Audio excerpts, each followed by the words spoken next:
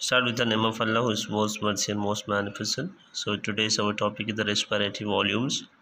Breathing, inspiration and expiration occurs in a cylindrical cyclic manner due to the movement of the chest wall and the lungs. Resulting changes in the pressure causes the change in the lungs volumes. For example, the amount of the air the lungs are capable of occupying these volumes tend to vary depending on the depth of the respiration, gender, age, and in the certain respiratory diseases.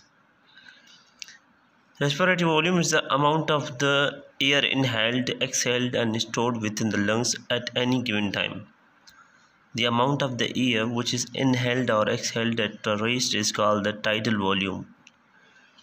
The average tidal volume is a 500 milliliter the amount of the extra air inhaled above tidal volume during a depth deep breath is called the respiratory reserve volume. This can be as high as 3000 milliliter. Total lung capacity of the human is just 6000 milliliter. So it's all about respiratory volumes.